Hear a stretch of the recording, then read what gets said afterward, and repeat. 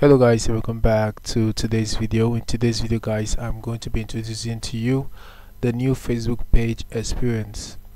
So guys um, the new facebook page experience is actually a new release on facebook and what this new facebook page experience actually does is that it uh, makes your facebook page to look more like a facebook profile.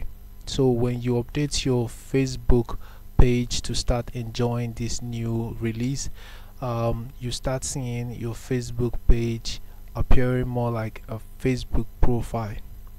So right now I have um, updated my Facebook, one of my Facebook page actually to um, the new Facebook page experience and um, this is actually the home page of my Facebook page and as you can notice there is a story at the top of my um, Facebook um, home screen and uh, you see it looks more like a Facebook profile.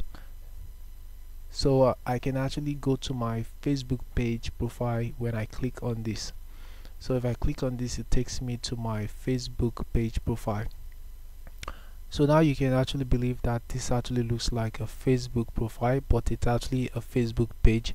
So you can see a bio you can see a bio and this is actually your page description. So you can just easily edit it from here. And um, you know if you're to edit your Facebook um, page bio you have to go to settings and start doing that. But right here you can actually do it from your Facebook page um, should I call it profile or home page okay um, you can actually edit your uh, Facebook cover from here and you can change your Facebook profile picture from here. So uh, you can actually edit your Facebook profile as well here. So what this actually does is that it brings all the Facebook page features together so that you can easily access it. So uh, it actually makes everything really really easy for you. So as you can notice um, you can actually see your subscribers sorry your followers count from here. And you can see your page category you can see your page location page phone number page gmail blah blah blah. And you can also also see all your um, content you have on your page from here.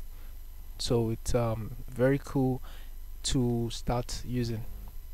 So if I if I go back to the home page and um, and I want to switch back to my Facebook profile. What I have to do here is to click on this drop down button. And if I do that I'm going to have to click on this switch profile or account. And then I can now switch back to my Facebook profile from here. So this is actually my Facebook uh, profile.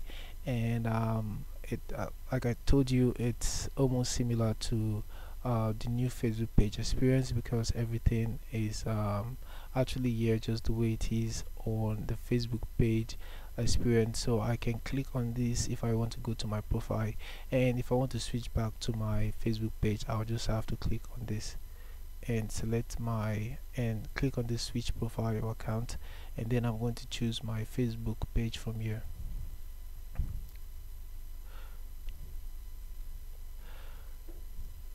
so right now you might be wondering how to update your facebook page in order for you to start enjoying this new facebook page experience.